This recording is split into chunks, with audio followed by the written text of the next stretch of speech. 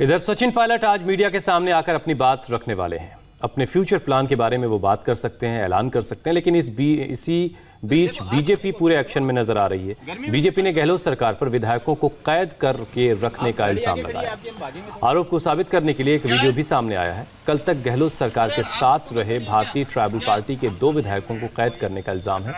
दो दिन पहले तक जो विधायक खुलेआम घूम रहे थे उनके घर के बाहर पुलिस का पहरा लगा दिया। गर्मी नहीं हो रही? हो रही हम आपके आपकी गाड़ी आगे लगा रखी है ना आपने? चाबी कहाँ अपनी गाड़ी की? ले गया वो। मैं राजस्थान विधानसभा का चौरासी विधानसभा क्षेत्र से विधायक हूँ और वर्तमान में जो राजस्थान में स्थिति पैदा हो चुकी है अभी ये हाल है कि हमें एक तरह से कैद कर रखा है। क्योंकि आज तीन दिन हो गए हैं हमारे एमएलए क्वार्टर पे थे कई लोग कह रहे हैं हमारे साथ चलो हमारे साथ चलो। और आज पुलिस प्रशासन की तीन से चार गाड़ियाँ हमारे साथ लगी है, मैं क्षेत्र के लिए निकला। लेकिन वो लोग निकलने नहीं दे रहे हैं। और चारों तरफ़ गाड़ियाँ लगा दी हैं और मेरी गाड़ी की चाबी भी ले ली गई है। और दोनों तरफ़ ये पुलिस लगी हुई है। मतलब एक एक तरह की बदतमीजी की जा रही है।